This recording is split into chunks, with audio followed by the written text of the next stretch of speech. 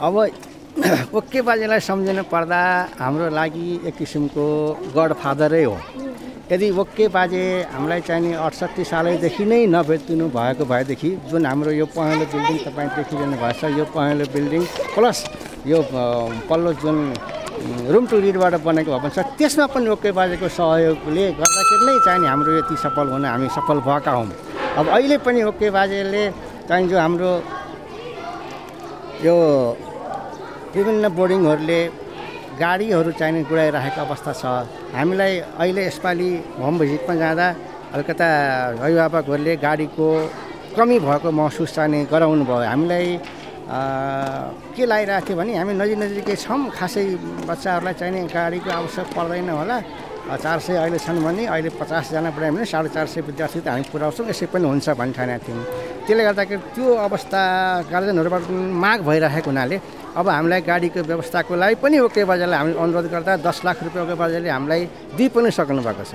गाडीलाई बाइस लाख रुपियाँ पर्नेछ दस लाख रुपियाँ उहाँले दिनुभएको छ। यसपालि हामीले चाहिने यो बच्चाहरूको जुन भर्ना फिस छ त्यो भर्ना फिस प्लस समुदायबाट उठाएर तत्कालै हामी गाडी पनि राख्नेवाला छौँ। ओके बाजे त हाम्रो लागि साँच्चै भन्यो भने उहाँ नभएको भए हाम्रो समुदाय त्यति अलिक सक्रिय नभएको भए यो अवस्था आउनु सक्ने थिएन र यहाँ पुग्ने नै थिएन।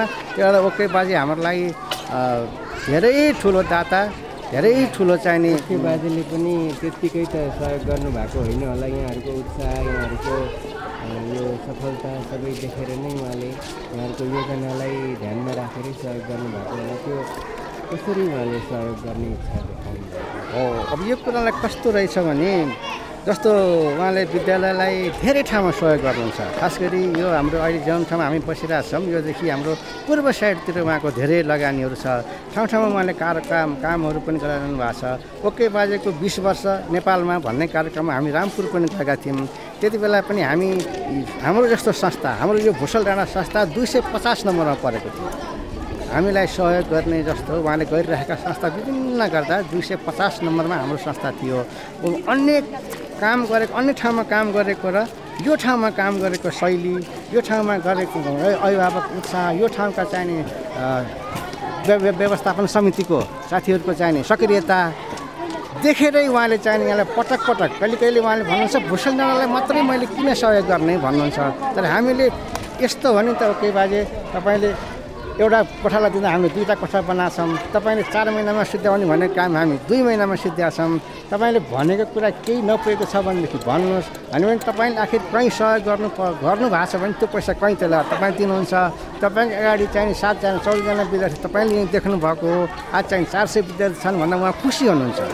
अनि हाम्रो काम देखेरै उहाँको श्रम देखेरै यहाँको चाहिने एउटा लगनशीलता यहाँको सबैको देखेर नै उहाँले चाहिँ धेरै सहयोग गर्न खुसी हुनुहुन्छ। खुसी मनले यसपालि दस लाखको वचन पनि दिइसक्नु भएको छ।